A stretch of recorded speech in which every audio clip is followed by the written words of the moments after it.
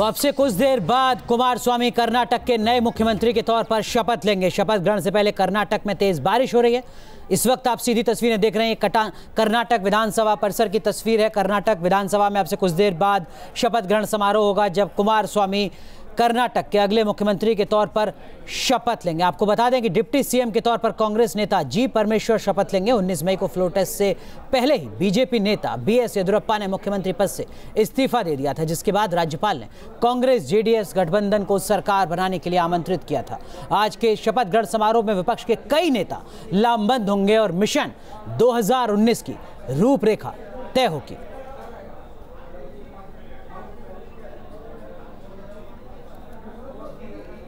तो अब से कुछ देर बाद कर्नाटक विधानसभा में मुख्यमंत्री पद की शपथ लेंगे कुमार स्वामी और ये मौका सिर्फ़ कर्नाटक की राजनीति तक सीमित नहीं रहेगा, देश की राजनीति के नज़रिए से कर्नाटक के शपथ ग्रहण समारोह को खासा महत्वपूर्ण माना जा रहा है।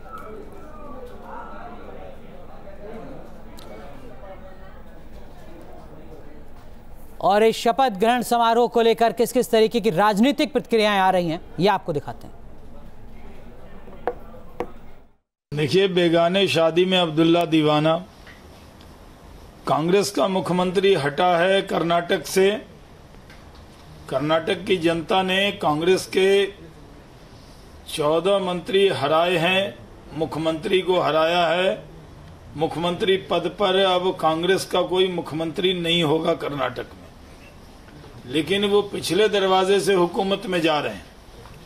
कुमार स्वामी जी मुख्यमंत्री का ओथ लेंगे। अब कांग्रेस वहाँ उनके साथ हुकूमत पिछले दरवाजे से पाएगी। जिनको भी इकट्ठे होके दिखना है, देश की जनता नरेंद्र मोदी जी के साथ इकट्ठी है, एकजुट है। आगे उन्नीस का चुनाव होने वाला है, उसमें एक साथ बैठ करके भाजपा को अपदस्थ करने के दृष्टिकोण से एक रणनीति बनाएँगे। इसका एक पहल हुआ है और इस पहल के लिए कर्नाटक के जो हमारे कुमार स्वामी जी हैं जो उठ दे रहे हैं या और हमारे अन्य कांग्रेस के लोग हैं या जेडीएस के लोग हैं उनको हम धन्यवाद देते हैं। Secular forces and uh, were victorious over there and now we have a democratic government. I'm sure this will pave the way for uh, Uh, preserving the constitution of india चलिए तो अलग अलग तरीके से देखा जा रहा है कर्नाटक के शपथ ग्रहण समारोह को, जिसकी शुरुआत अब से कुछ देर बाद होगी, लेकिन राजनीति के लिहाज से इस तस्वीर का क्या कुछ मतलब है? ये समझने की कोशिश लगातार हम करते रहेंगे। हमारे साथ वरिष्ठ पत्रकार विनोद अग्निहोत्री जी जुड़ रहे हैं। हमारे साथ वरिष्ठ पत्रकार श्री दत्तन जी जुड़ रहे हैं और कांग्रेस पार्टी से वरिष्ठ नेता और प्रवक्ता आलोक शर्मा जी जुड़ चुके हैं। आलोक जी, सबसे पहला सवाल आपसे, जो खबरें आई हैं उसके मुताबिक आज का जो शपथ ग्रहण है, वो सिर्फ़ मुख्यमंत्री और उप मुख्यमंत्री तक सीमित रहेगा। कोई खास वजह आपके मुताबिक?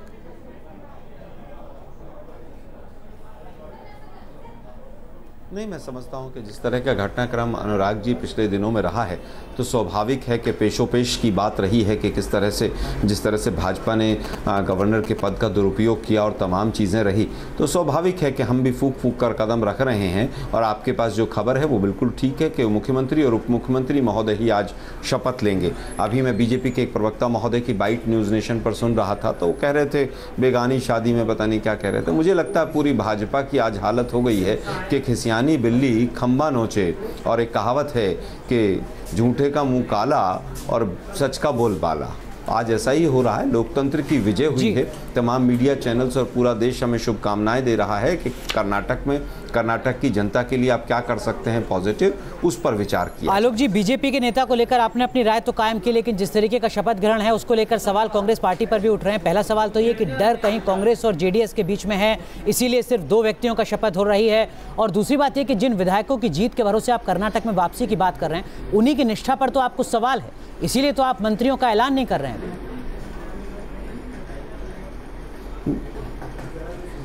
देखिए निष्ठा की बात नहीं है अनुराग जी, ये कोई निष्ठा का प्रश्न नहीं है। आपने देखा होगा जब रात के समय पे धनी का सामान घर के बाहर रखा हो तो धनी अपने अंदर ले लेता है कि भाई बाहर के लोग जिस तरह का वातावरण है, जिस तरह का विधायक चोरों का आतंक फैला हुआ है पूरे देश में तो स्वाभाविक है कि अपने घर को बचाने रख, बचाए रखना हमारा फ़र्ज़ था। और अमित शाह जी ने पूरी तरह से अपनी जो प्रेस कॉन्फ्रेंस परसों की, उसमें क्लियर कर दिया कि विधायक अगर बाहर होते तो सरकार हमारी होती। तो स्वाभाविक है कि वो पूरी तरह से जोड़ तोड़ खरीद फरोख्त फोर्स ट्रेडिंग सब चीज़ों के लिए तैयार थे लेकिन हमने अपने घर को बचा कर रखा हिंदुस्तान के लोकतंत्र को बचा कर रखा और आज पूरा देश कह रहा है कि कांग्रेस इसी तरह से अगर मजबूती से आगे बढ़ेगी। तो 2019 में कोई नहीं रोक सकता। विनोद सर कांग्रेस के लिहाज से सही फैसला हो सकता है लेकिन अगर हम विधायिका के लिहाज से देखें तो कहीं निष्ठा पर तो सवाल है ना पार्टी कहीं ना कहीं तो डरी हुई है। देखिए असली बात यह है कि इस वक्त जो विधायक चुन के आते हैं किसी भी पार्टी के अब वो राजनीतिक और सैद्धांतिक प्रतिबद्धताएँ जो हैं वो ख़त्म हो गई हैं। अब तो सीधे अवसरवाद की राजनीति है। तो कहीं ना कहीं ऐसा होता है कि हर पार्टी जब ये स्थिति होती है तो अपने विधायकों को बचा के रखती है क्योंकि जोड़ तोड़ की बहुत संभावनाएँ बढ़ जाती हैं। आप देखिए येदुरप्पा ने भी शपथ अकेले ही ली थी। उन्होंने भी मंत्रिमंडल का शपथ की शपथ नहीं कराई थी। यही कांग्रेस और जनता दल के साथ है क्योंकि इनको अभी अपने विधायकों को सबको ये दिखाए रखना है कि भाई कोई सबके मन में आशा रहेगी तो आप उत्साहित नज़र आ रहे हैं लेकिन दूसरी तरफ़ जो कर्नाटक की तस्वीर है उसमें ऐसा लग रहा है कि मानो इंद्रदेव कुछ ज़्यादा ही मेहरबान है क्योंकि कर्नाटक में इस वक्त बेंगलुरु में काफ़ी तेज बारिश हो रही है और जो तस्वीरें इस वक्त आप देख रहे हैं अपनी टेलीविज़न स्क्रीन पर, उससे साफ़ ये पता चलता है कि जब से कुछ देर बाद जब मुख्यमंत्री पद की शपथ दिलाई जाएगी कुमार स्वामी को तो हालात किस तरीके के हो सकते हैं, खासकर तब जबकि बहुत तेज हवा चल रही है, आंधी की लगातार खबरें आ रही हैं तेज बारिश हो रही है। और इस बीच कुमार स्वामी पहुँच रहे हैं विधानसभा परिसर में शपथ के लिए, लेकिन जो मौसम का मिजाज है, वो कहीं इस जश्न को फीका ना कर दे। विनोद सर। हाँ जिस तरह की हवाएँ देख रहे हैं, हम ये बेंगलोर में इस समय चल रही हैं। तो ज़ाहिर है कि मौसम और बारिश और ये हवाएँ तो कहीं ना कहीं ये जो खुले में शपथ ग्रहण समारोह हो रहा है अगर ये कहीं हो सकता है इसको शिफ्ट करना पड़े राजभवन के अंदर करना पड़े या क्या स्थिति है तो वो जो एक बड़ा शो हो एक मेगा शो की तैयारी है कि जिसमें तमाम विपक्ष के बड़े दिग्गज मैं देख रहा था शरद पवार भी है बेंगलोर एयरपोर्ट पर अखिलेश यादव हैं तेजस्वी यादव हैं मायावती जी हैं तो चंद्रबाबू नायडू हैं सोनिया गांधी हैं राहुल गांधी हैं तो ये सारे लोग देवगौड़ा जी तो होंगे ही तो इनको सबको एक मंच पर इकट्ठा देखना अपने आप में एक बड़ा आयोजन। जैसे कि जब आप देखिए बीजेपी की सरकार बनती है तो एनडीए के सारे मुख्यमंत्री और बीजेपी के बड़े नेता और केंद्रीय मंत्री जाते हैं। तो एक तरह से शो डाउन होता है, राजनीतिक शो डाउन तो ये राजनीतिक शो भी एक है। अब ये मौसम उसको किस हद तक होने देगा, नहीं होने देगा, ये एक प्रकृति का नज़ारा है। आलोक जी, बीजेपी के नेता इस वक्त नहीं जुड़े हैं, लेकिन अगर वो जुड़े होते और मौसम की इन तस्वीरों को देखते तो हो सकता है वो तंज कस देते। वो कहते कि शायद भगवान भी नहीं चाहता कि इस तरीके का शपथ ग्रहण समारोह हो बेंगलुरु में। या प्रकृति को भी स्वीकार नहीं है। प्रकृति को भी स्वीकार नहीं है। आलोक जी। नहीं जिस तरह का टेम्परेचर बढ़ा है पूरे देश में और जिस तरह से सूखे तक की है और किसान अगर किसान की बात करें तो किसान बरसात को देकर ये नहीं कहता कि पानी बरस रहा है। राजस्थान में कहा जाता है कि राम जी बरस रहे हैं। तो ये परमात्मा का आशीर्वाद है।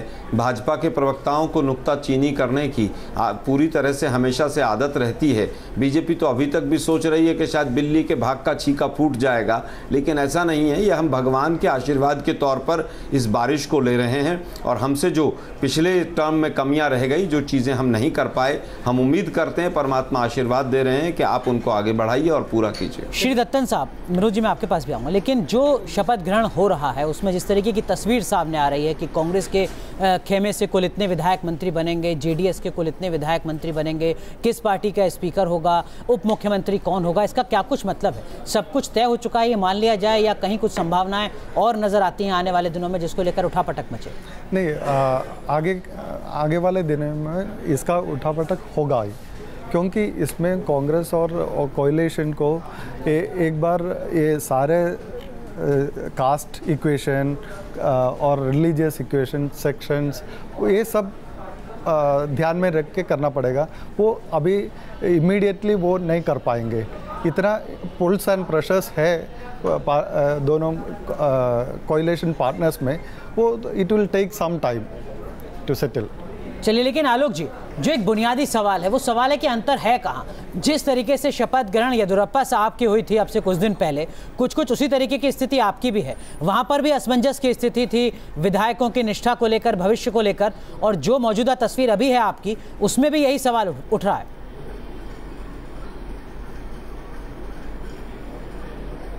देखिए, मैं समझता हूँ कि उसमें और उसमें एक बेसिक फ़र्क है कि वहाँ पर अमित शाह और मोदी जी जो हर शपथ ग्रहण समारोह में जाते हैं, उन्हीं को भरोसा नहीं था, वो नहीं गए वहाँ पर। और मंच पर मात्र केवल आपने देखा होगा, येदुरप्पा साहब थे।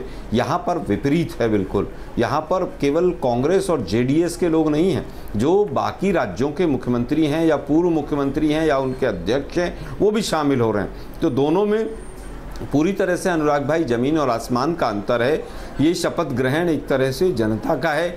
वहाँ पर जो शपथ ग्रहण होने जा रहा था वो भाजपा और आरएसएस का था। और वो इसीलिए जनता ने नेचर ने प्रकृति ने स्वीकार नहीं किया है। हम तो आज परमात्मा से सर झुका के कहते हैं कि हमारी सीटें भी घटी थी चाहे वोट परसेंटेज दो ज़्यादा रहा हो लेकिन परमात्मा हमें ताकत देना कि जो काम कर्नाटका की जनता के अधूरे रह गए हैं इस देश के लोकतंत्र को बचाने के लिए जो भी हम काम कर सकें हमें ऐसी शक्ति देना। लेकिन जो सवाल था उसका जवाब कहीं ईमानदारी से नहीं मिल पा आज रहा है आलोक शर्मा जी शपथ ग्रहण है सीधा सवाल सिर्फ़ ये है कि मंत्रियों के नाम का ऐलान ना करने के पीछे की वजह क्या है? ये कौन सी रणनीति है? देखिए मैं मैं बता देता हूँ उसका एक कारण है कि हम पाँच साल सत्ता में रहे हैं और कई लोग ऐसे हैं जो तीन तीन चार चार बार से भी जीते हैं।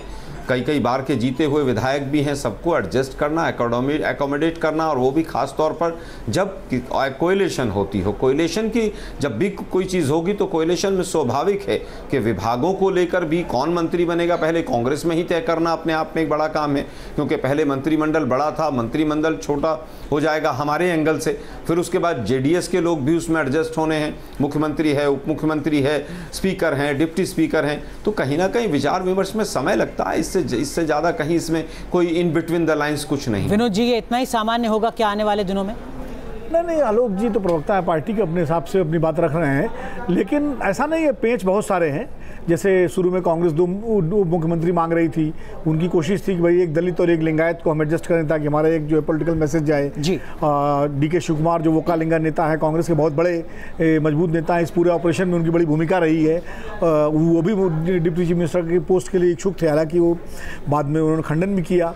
इसके अलावा जो 22 मंत्री बनने हैं कांग्रेस की तरफ़ से जेडीएस की तरफ़ से जो 12 मंत्री बनने हैं तो अभी सब विधायकों को उम्मीद है कि शायद हम मंत्री बन जाएँ।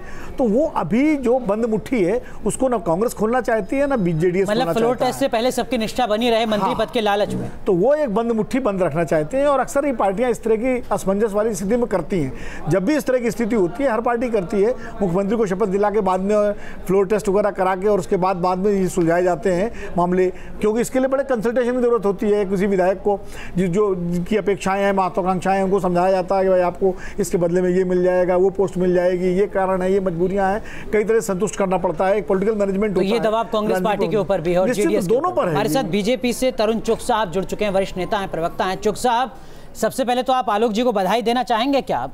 उनके गठबंधन के नेता मुख्यमंत्री पद की शपथ ले रहे हैं कर्नाटक में आपसे कुछ देर बाद।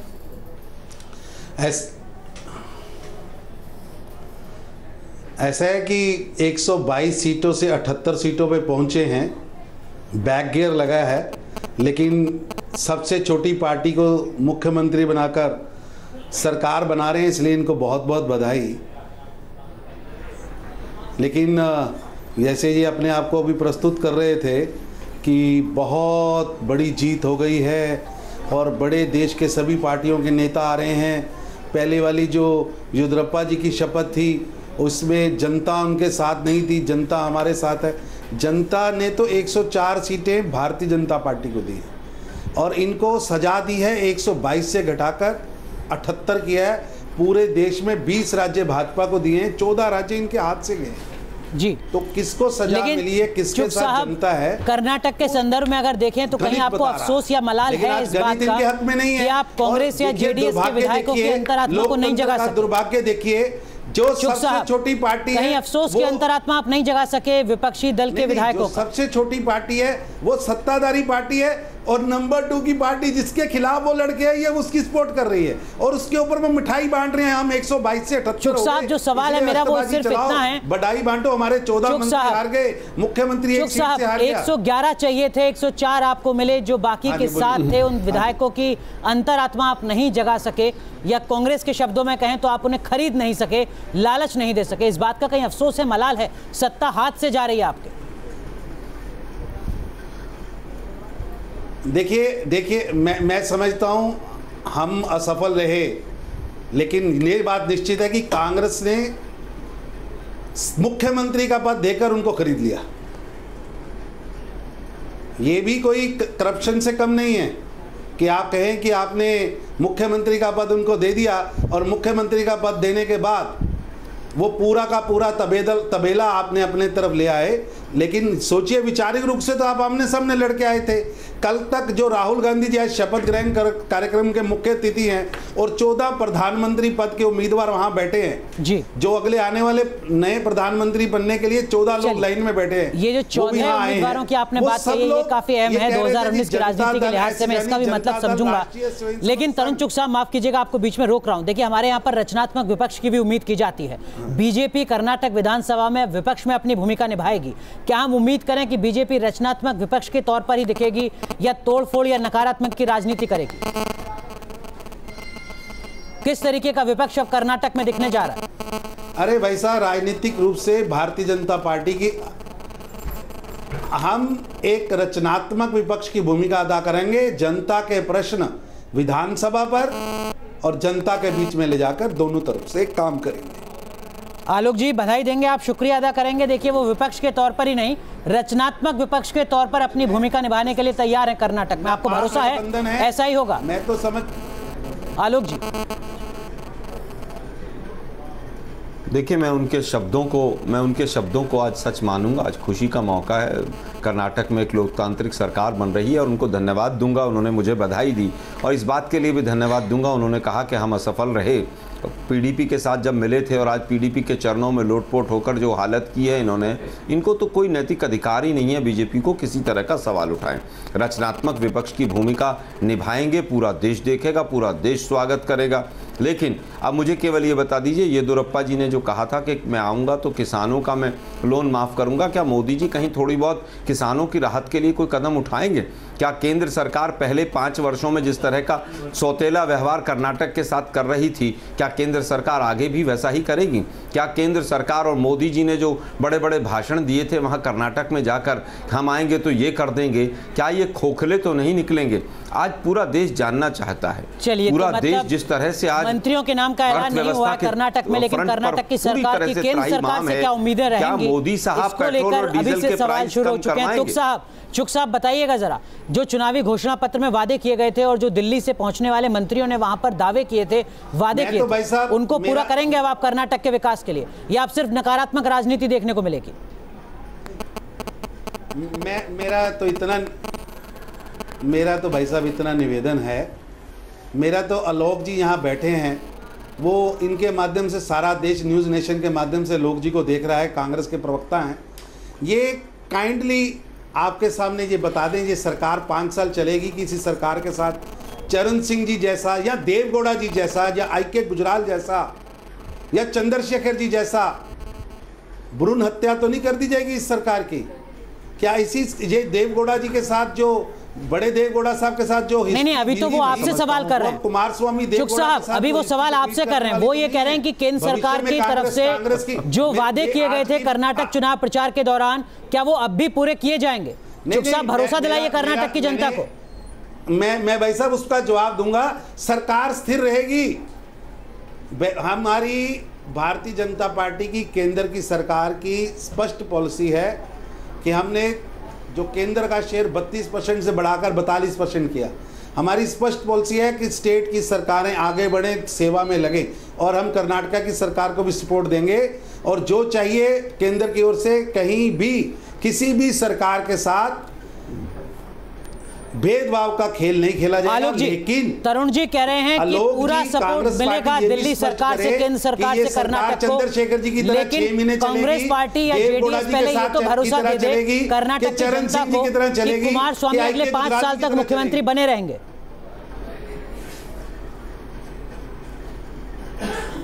देखिए पहले कुमार स्वामी के साथ किसने सरकार बनाई और क्या हुआ?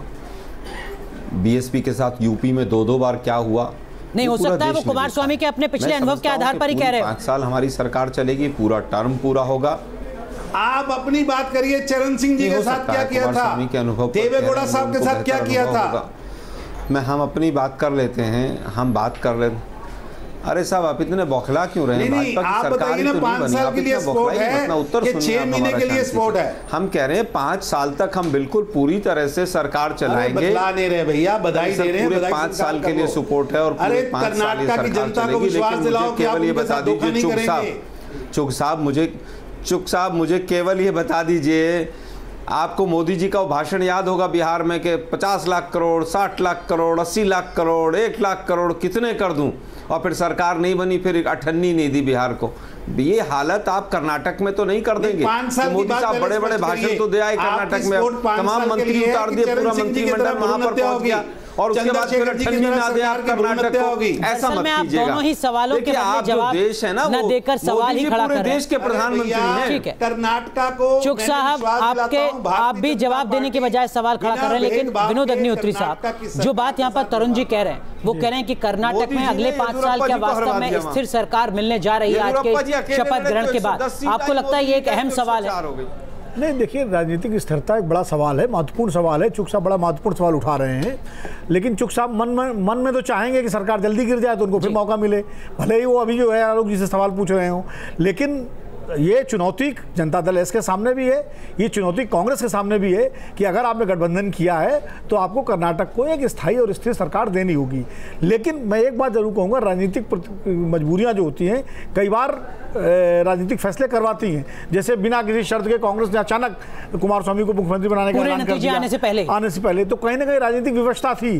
तो 2019 का लोकसभा का चुनाव भी एक ऐसी राजनीतिक व्यवस्था है कि अभी 2019 तक तो मुझे लगता है ये गठबंधन ढंग से चलेगा और 2019 के नतीजे लोकसभा चुनाव के जैसे आएँगे उसका भविष्य उसके बाद निर्भर होगा। अगर केंद्र में एक इनके पक्ष की सरकार बन गई तो गठबंधन आगे भी चलेगा और अगर केंद्र में फिर मान लीजिए बीजेपी लौट के आती है तो फिर गठबंधन में दिक्कतें आएँगी। ये राजनीतिक परिस्थितियों पर निर्भर करेगा। और चुक साहब एक चीज़ ऐसी है तीन तीन बार आपने भी मायावती को समर्थन दिया उत्तर प्रदेश में लेकिन आपने स्थिर सरकार नहीं चलने दी। तो ये राजनीतिक दल इस तरह करते हैं। है। और जब उनका मौका आता है अपने हिसाब से फैसले लेते हैं। लेकिन श्री दत्तन साहब जेडीएस के लिए कितना ज़रूरी है कि वो इस सरकार को स्थिर बनाकर रखे अगले पाँच साल तक। इस लिहाज से इस बात को समझते हुए कि पिछले दस साल से वो सत्ता से बाहर रही। ये जेडीएस के अस्तित्व का सवाल है। बिल्कुल। ये जेडीएस के लिए बहुत इम्पोर्टेंट है। एक तो है वो आ, कमान संभाल रहे संभाल रहे चीफ मिनिस्टर हैं। तो उनके लिए आ, अगला इलेक्शन वो लोकसभा इलेक्शन में 28 सीट्स हैं। दैट इज़ वेरी इम्पोर्टेंट उनके लिए भी आगे का वो सेंटर में जो रोल प्ले करना है वो it all depends on the 20 28 seats in Karnataka तो that that way they both the parties will play constructive role and continue and stable रहना चाहेंगे। आलोक जी जो बात जेडीएस पर लागू होती है कर्नाटक की राजनीति के संदर्भ में आपको लगता है कि वो बात कांग्रेस पर भी लागू होती है? क्योंकि जेडीएस और कांग्रेस दोनों के इस गठबंधन की ये मजबूरी है कि किसी भी तरीके से नरेंद्र मोदी को रोकना है बीजेपी को रोकना है। यही इस गठबंधन का आधार भी है। देखिए मैं समझता हूँ। नहीं, मैं समझता हूँ कि मेरे से पूर्व प्रवक्ता जो पत्रकार महोदय रहे, उन्होंने बहुत सही बात कही कि जेडीएस के ऊपर पूरी ज़िम्मेदारी है, लेकिन साथ के साथ कांग्रेस के ऊपर भी पूरी ज़िम्मेदारी है कि हमने बड़े अदब के साथ गठबंधन की पूरी जो भी जिम्मेदारियाँ हैं उनको निभाते हुए और कर्नाटक की जनता के साथ जो हमने वायदे किए हैं उनको पूरा करने के लिए समय चाहिए। और समय कर्नाटक की जनता ने हमें पाँच वर्ष का दिया है। हम पूरी ज़िम्मेदारी के साथ न्यूज़ नेशन के माध्यम से बताना चाहेंगे देश की जनता को कि कांग्रेस पार्टी जेडीएस के साथ कंधे से कंधा मिलाकर चलेगी और कर्नाटक की जनता को जो भी वायदे किए हैं उनको हम पूरा करेंगे। लेकिन मैं फिर पुनः पूछूँगा, क्या मोदी जी और उनके मंत्रिमंडल ने जो वायदे किए हैं वो पूरा करेंगे? नहीं वो तो भरोसा दिला रहे हैं। चुग साहब कह रहे हैं कि सारे वादे पूरे होंगे। आप इंतज़ार कीजिए और अपना कम से कम पाँच साल पूरे कीजिए। ठीक है एक बार फिर रुक करते हैं। तरुण चुग मैंने तो बिहार का उदाहरण दिया। बिहार में क्या किया इन्होंने? बिल्कुल। लेकिन तरुण चुग साहब एक सवाल आपसे और ईमानदारी से जवाब दीजिएगा। देखिए कर्नाटक की सत्ता अब आपके हाथ से जा चुकी है मौजूदा स्थिति में। कर्नाटक से पार्टी को आपके मुताबिक क्या सबक मिला?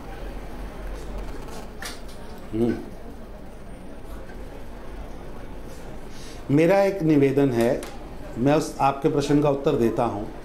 अभी आलोक जी कह रहे थे कि वो उनको समय दिया है बेटर परफॉर्मेंस करने का। इसका मतलब जो पहले पाँच साल की सिद्धारमैया जी की सरकार रही, वो वर्स्ट प्रदर्शन था, ऐसा वो मानते हैं। ऐसा वो मानते हैं कि उनके नेतृत्व में कहीं कमी थी, कांग्रेस की सरकार चलाने की जो योग्यता है वो कम थी और कुमार स्वामी वो सपना पूरा कर पाएँगे। क्या उनका उनका ये मत है कि जो सरकार पाँच साल वो काम चलाते रहे वो गलत काम कर रही थी और अब कुमार स्वामी के नेतृत्व में वो अच्छा काम करेंगे। उन्होंने जो बात कही उससे ये लग रहा है। ठीक है मेरे सवाल का जवाब आपने दे दीजिए सबक क्या कर्नाटक से सबक बीजेपी को। कि गणित सबसे महत्वपूर्ण। हाँ सबक ये है। मैं उत्तर देता। हूँ हाँ सबक ये है कि गणित सबसे महत्वपूर्ण है और हम हम हम उस गणित को पूरा करेंगे आने वाले समय में। आने वाले समय में जहाँ जहाँ चुनाव है उस गणित को पूरा करेंगे और और ज़्यादा मेहनत करके और चलिए तो पार्टी को सबक मिला है कर्नाटक के नतीजों से लेकिन इस वक्त जो आप तस्वीर देख रहे हैं अपनी टेलीविज़न स्क्रीन पर वो काफ़ी कुछ कहती हैं 2019 की राजनीति के लिहाज से और उभरती क्षेत्रीय ताकतों के लिहाज से भी आप देख रहे हैं कि अब से कुछ देर में कुमार स्वामी का शपथ ग्रहण होगा उनको मुख्यमंत्री पद की शपथ दिलाई जाएगी कर्नाटक में कर्नाटक विधानसभा परिसर की आप तस्वीर इस वक्त देख रहे हैं अपनी टेलीविज़न स्क्रीन पर लेकिन ये तस्वीरें सिर्फ़ कर्नाटक की राजनीति तक सीमित नहीं है कांग्रेस पार्टी के अध्यक्ष राहुल गांधी वहाँ पर पहुँचे हैं। साथ में आप देख रहे हैं पश्चिम बंगाल के मुख्यमंत्री ममता बनर्जी मौजूद हैं और खबरों के मुताबिक सिर्फ़ ममता बनर्जी नहीं, बल्कि अलग अलग राज्यों के पाँच मुख्यमंत्री शपथ ग्रहण समारोह में मौजूद रहेंगे। इस तरीके की खबरें लगातार आती रही हैं। लिहाजा 2019 सबके नज़र में है कर्नाटक के रास्ते। आपको बता दें कि सोनिया गांधी कांग्रेस की पूर्व अध्यक्ष और वरिष्ठ नेता इस वक्त मौजूद हैं। कर्नाटक विधानसभा परिषद में कुमार स्वामी के शपथ ग्रहण समारोह में इस लिहाज से सवाल और भी उठते हैं कि गठबंधन की तस्वीर क्या होगी और गठबंधन के जो चेहरे हैं, वो कौन है? सोनिया गांधी या राहुल गांधी? लेकिन जो तस्वीरें हैं, वो काफ़ी कुछ कहती हैं। चंद्रबाबू नायडू इस वक्त आप देख सकते हैं अपनी टेलीविज़न स्क्रीन पर। ममता बनर्जी वहाँ पर मौजूद हैं। खबरों के मुताबिक दिल्ली के मुख्यमंत्री अरविंद केजरीवाल को भी वहाँ पर पहुँचना है और केरल के मुख्यमंत्री विजयन को भी। साथ में तेलंगाना के मुख्यमंत्री के चंद्रशेखर राव के पहुँचने की भी खबरें लगातार आ रही हैं और इस वक्त आप देखिए। जी बाद में खबरें आई कि वो शायद नहीं पहुँचेंगे लेकिन इस वक्त की जो खबरें हैं झारखंड के पूर्व मुख्यमंत्री हेमंत सोरेन बिल्कुल और इस तरीके के तमाम राजनीतिक दल के जो नेता हैं वो पहुँच रहे हैं शपथ ग्रहण समारोह में। अखिलेश यादव को अब से कुछ देर पहले आपने देखा अपनी टेलीविज़न स्क्रीन पर उत्तर प्रदेश के पूर्व मुख्यमंत्री। बसपा सुप्रीमो मायावती ने शुभकामनाएँ दी हैं जो पहुँच चुकी हैं। कर्नाटक विधानसभा परिसर में तो तमाम बड़े राजनीतिक दलों के बड़े चेहरे इस वक्त कर्नाटक में मौजूद हैं बेंगलुरु में मौजूद हैं कर्नाटक विधानसभा परिसर में। और अब से कुछ देर बाद शपथ ग्रहण समारोह की शुरुआत होगी। एच डी कुमार स्वामी को एक बार फिर मुख्यमंत्री पद की शपथ दिलाई जाएगी। इससे पहले बीजेपी के साथ कुमार स्वामी ने मुख्यमंत्री पद की शुरुआत की थी लेकिन वो गठबंधन आगे बढ़ नहीं सका। एक बार फिर कुमार स्वामी कर्नाटक के अगले मुख्यमंत्री होंगे। विनोद अग्निहोत्री साहब जी। ये जो तस्वीरें इस वक्त हम देख रहे हैं जहाँ पर सोनिया गांधी मौजूद हैं राहुल गांधी मौजूद हैं जिस कांग्रेस जेडीएस गठबंधन की बात हो रही है वहाँ पर आपके मुताबिक चेहरे हैं कौन एच डी देवगौड़ा और सोनिया गांधी या कुमार स्वामी और राहुल गांधी देखिए सोनिया गांधी और देवगौड़ा जी को तो आप संरक्षक की भूमिका में मान सकते हैं लेकिन आज की राजनीति के जो नए जो महारथी हैं ज़ाहिर राहुल गांधी हैं कुमार स्वामी हैं अखिलेश यादव हैं। मैं इस पहलू पर भी आऊँगा लेकिन जो इस वक्त की तस्वीर है बसपा सुप्रीमो मायावती साथ में सोनिया गांधी और राहुल गांधी ये तस्वीर कुछ कहती है कि आने वाले दिनों में उत्तर प्रदेश की राजनीति के लिहाज से लोकसभा चुनाव के लिहाज से। नहीं, निश्चित रूप से मायावती जी जिस तरह से, जिस अपनेपन से, जिस गर्मजोशी से और जिस सहजता से बात कर रही हैं सोनिया गांधी राहुल गांधी से तो ज़ाहिर है इससे एक तो संदेश जाता है कि संबंधों में जो एक तरह से प्रगाढ़ता है मधुरता है, उस दिखाई पड़ रही है। अभी देखा था आपने ममता बनर्जी और सोनिया गांधी और राहुल गांधी बात कर रहे थे, उसके पहले जो है तेजस्वी यादव ने उनके आगे पैर छुए सोनिया गांधी के। तो ये कहीं ना कहीं ये लगता है कि ये एक जो गैर भाजपा मोर्चा कहें या भाजपा विरोधी मोर्चा कहें जिसकी कोशिश हो रही है वो उसके उसका एक वातावरण इस शपथ ग्रहण समारोह के ज़रिए बन रहा है। क्योंकि मायावती उत्तर प्रदेश में एक बड़ी ताकत हैं अखिलेश यादव भी यहीं पर आसपास कहीं मौजूद हैं शायद वो भी जो है अभी मिलेंगे इनसे। तो ये दोनों मिलकर के उत्तर प्रदेश जहाँ से अस्सी सीटें हैं लोकसभा की तिहत्तर सीटें बीजेपी जीती थी यानी उनके सहयोगियों को मिला करके तो अगर ये गठबंधन जो कि बीएसपी समाजवादी पार्टी और कांग्रेस और अगर अजीत सिंह को भी जोड़ लें तो एक बड़ा मज़बूत गठबंधन बनता है।